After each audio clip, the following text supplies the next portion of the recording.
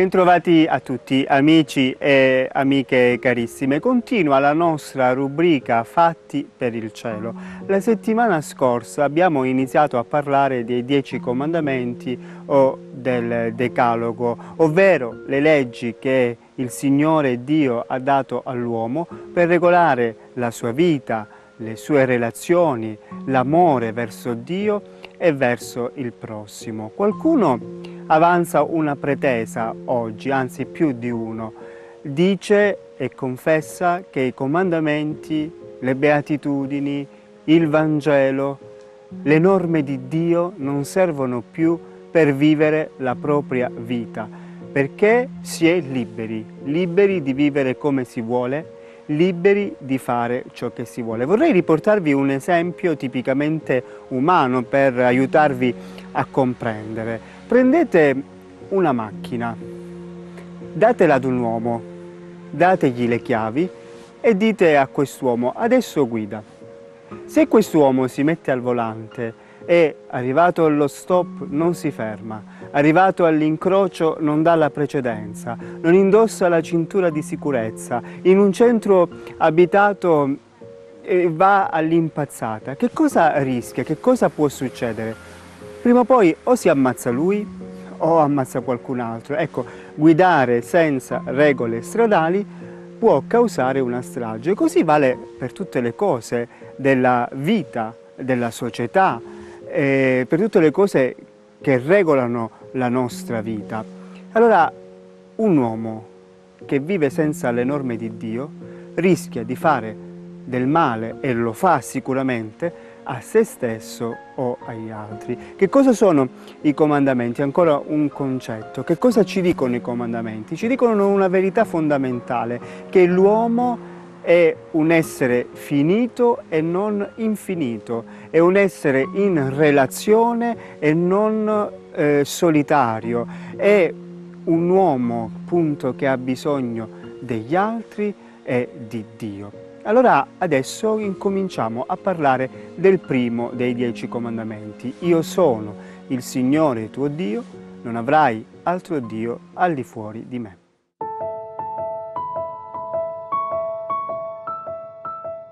Dal libro dell'Esodo. Dio allora pronunziò tutte queste parole. Io sono il Signore tuo Dio, che ti ho fatto uscire dal paese d'Egitto dalla condizione di schiavitù. Non avrai altri dei di fronte a me. Non ti farai idolo né immagine alcuna di quanto è lassù nel cielo né di qua giù sulla terra, né di ciò che è nelle acque sotto la terra. Non ti prostrerai davanti a loro e non li servirai, perché io, il Signore, sono il tuo Dio, un Dio geloso che punisce la colpa dei padri nei figli fino alla terza e alla quarta generazione per coloro che mi odiano, ma che dimostra il suo favore fino a mille generazioni per quelli che mi amano e osservano i miei comandi.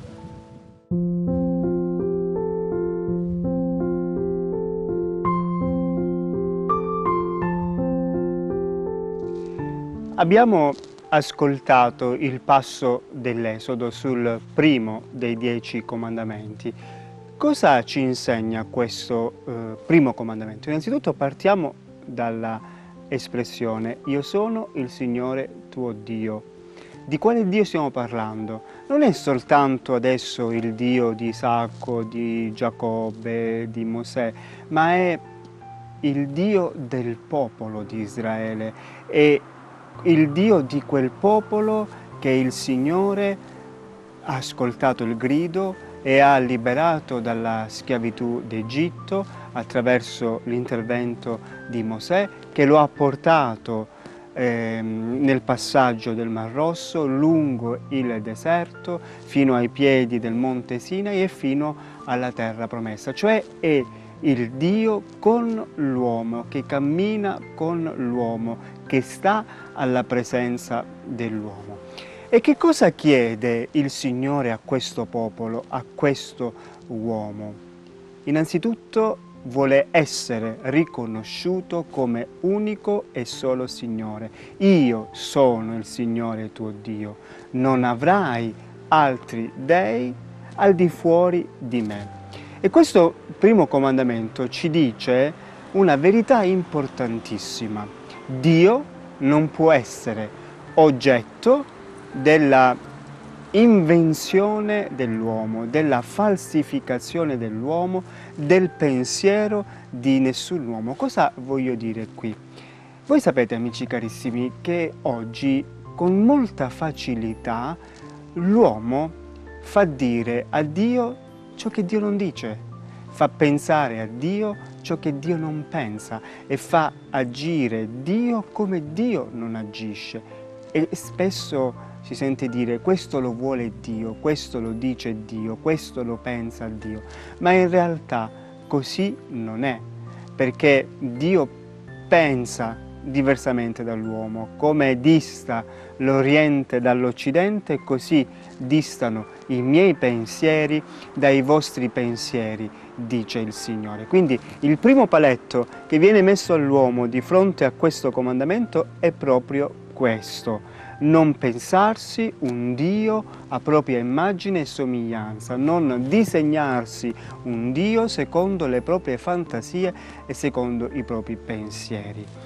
Ancora, questo comandamento dice non avrai altri dei al di fuori di me, quindi c'è un invito a non farsi idoli, a non farsi immagine alcuna di Dio.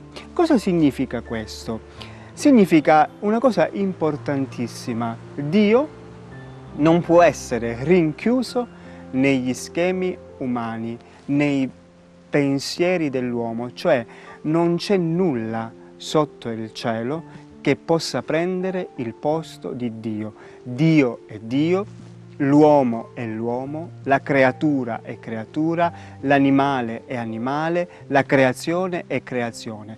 Tutte quelle volte che noi prendiamo persone, animali, oggetti e li facciamo diventare idoli della nostra vita, cioè che ci condizionano, che condizionano i nostri modi di fare e di vivere, lì è peccato contro il primo dei comandamenti.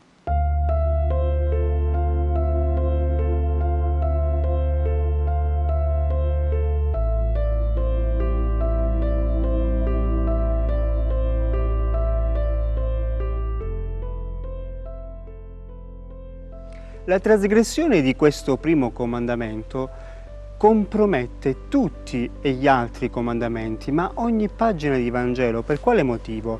Se io faccio del mio Dio un mio personale Dio e Signore e quindi al mio Dio e Signore faccio dire quello che voglio io, di conseguenza tutto il resto viene sfasato e trasformato, quindi anche le relazioni con gli altri, con il padre, con la madre, con i fratelli, con il marito, con la moglie, con ogni relazione di giustizia. Quindi, messo i fondamenti su questo primo comandamento, allora possiamo continuare il nostro cammino di approfondimento. Non avrai altri dei all'infuori di me e una cosa che dobbiamo ribadire, perché oggi l'uomo che cosa ha fatto? È andato oltre, non è andato a scegliersi altri dei, ha tolto il vero Dio e ha preso il posto di Dio, si è fatto Dio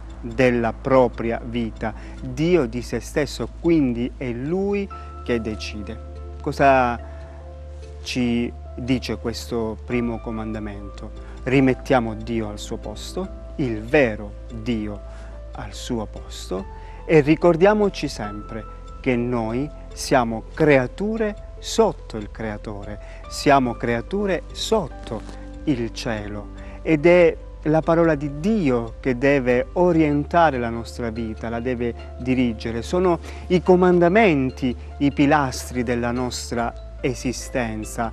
E i comandamenti ci dicono, ci ricordano che ci sono delle cose che possiamo fare e delle cose che non possiamo fare.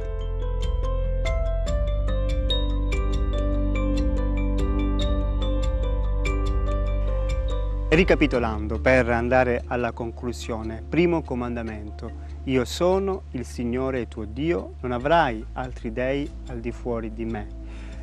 Nessun uomo può prendere il posto di Dio, nessun uomo si può immaginare o pensare Dio, perché se pensiamo noi Dio, cioè facciamo dire a Dio ciò che vogliamo noi, tutto il resto, tutte le relazioni, tutto ciò che andiamo a pensare, a dire, a fare viene sfasato. Allora, partiamo da questo primo pilastro nella nostra vita spirituale. Il Signore è il nostro Dio e a Lui dobbiamo obbedienza.